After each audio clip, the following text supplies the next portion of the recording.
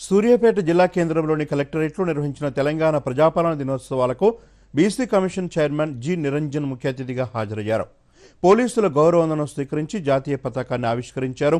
జిల్లాలోని స్వాతంత్ర్య సమరయోధులను సత్కరించారు. ఈ సందర్భంగా నిరంజన్ మాట్లాడుతూ నిజాం నిరంకుశ పాలనను ఎదురించి తెలంగాణ స్వేచ్ఛ స్వాతంత్ర్యాలు పొందిన రోజును ప్రజాపాలన దినోత్సవంగా జరుపుకోవటం సంతోషంగా ఉందన్నారు.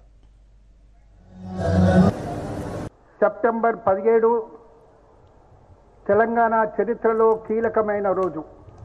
హైదరాబాద్ సంస్థానం స్వతంత్రంగా ఉంటుందని నిజాం రాజు ప్రకటించడం జరిగింది.